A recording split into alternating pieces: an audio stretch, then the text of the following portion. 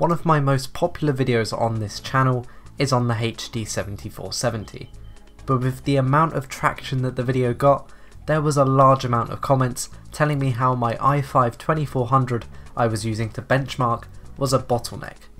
So, two years later, with a lot more knowledge behind these cards, I'm coming back for a re-review.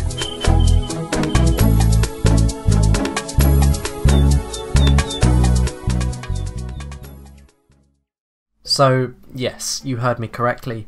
Lots of people complained in the comments that a Sandy Bridge i5 chip was bottlenecking a 7470, even though in the top right MSI Afterburner was clearly showing that the GPU was 100% usage, but nevertheless, this card was released back in 2012 on the Terascale 2 architecture, running on a 40nm process size with 1GB of GDDR5 VRAM.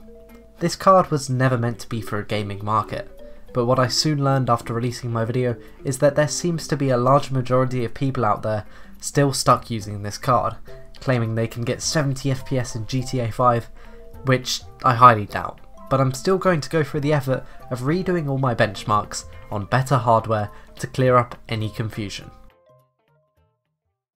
So what testing rig have I got at my disposal this time?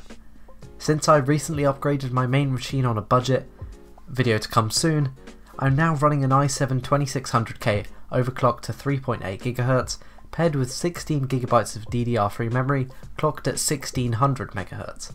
A machine that should definitely not hold a 7470 back. So without further ado, let's get straight into our benchmarks.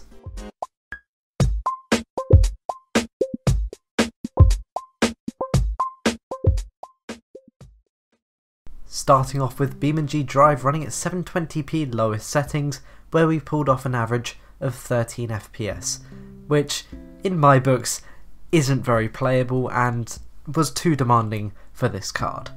Next up, CSGO with some deathmatch in Office running at 720p low settings, where we pulled off an average of 66 FPS.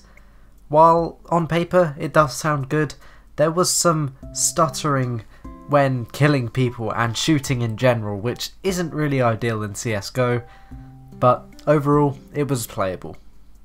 The Counter-Strike Source benchmark running at 1080p high settings where we pulled off an average of 73 FPS and overall it ran perfect. Next up GTA 5, remember that comment earlier telling us we could run at 70 FPS? Well, this is running at lowest settings, running at 800 by 600 and normal or lowest settings but we pulled off an average of 28 FPS, which is on the border of playable. Euro Truck Simulator 2 running at 720p lowest settings where we pulled off an average of 45 FPS, which for a game like Euro Truck was perfectly fine. Next up doing some off-roading and Spintires Mudrunner running at 1024 by 768 high settings where we pulled off an average of 18 FPS which wasn't playable. The game didn't look great at all and overall this title won't run on a 7470. And to finish us off, a new title with Valorant. Running at 1080p high settings, we actually pulled off a pretty respectable 26 FPS with no real lag or stutter during the game. So if you want to play Valorant on your 7470, it will run okay.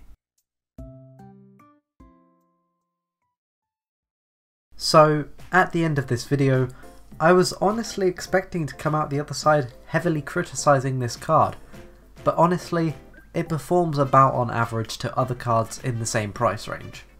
But that doesn't mean that I agree with what the comments section was hyping it up to be. It's still the same old graphics card that wasn't designed for gaming and was better suited to its days in pre-built business machines. But I'm sure that if you have absolutely no other option in terms of a graphics card, it will hold up well as long as you crank those settings way down. I'm Owen, thank you all very much for watching, and I'll see you in the next one.